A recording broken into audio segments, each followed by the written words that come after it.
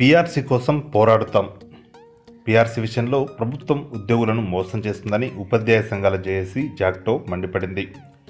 PRC అమలు కోసం ఉద్యోగ ఉపాధ్యాయ పెన్షనర్ల సంఘాలతో కలిసి మహా ఐక్య వేదికను ఏర్పాటు చేసి పోరాడుతామని ప్రకటించింది. ఆదివారం హైదరాబాద్లో జాక్టో రాష్ట్ర కమిటీ సమావేశం జరిగింది. ఈ సందర్భంగా చైర్మన్ సదానంద గౌడ్ మాట్లాడుతూ రెండు వేల పద్దెనిమిది మే పదహారున సీఎం కేసీఆర్ ప్రగతి భవన్లో ఉద్యోగులు ఉపాధ్యాయులకు ఇచ్చిన ఏ ఒక్క హామీ అమలు కాలేదన్నారు. ప్రభుత్వం పీఆర్సీపై పూటకో మాట మాట్లాడుతుందని ఆగ్రహం వ్యక్తం చేశారు. వెంటనే పీఆర్సీ నివేదికను తెప్పించుకొని అమలు చేయాలని డిమాండ్ చేశారు. సమావేశంలో జాక్టో నేతలు కృష్ణుడు రాధాకృష్ణ భుజంగరావు దేశపాండే గీతాంజలి విఠల్ మల్లేశ్వరి పాల్గొన్నారు.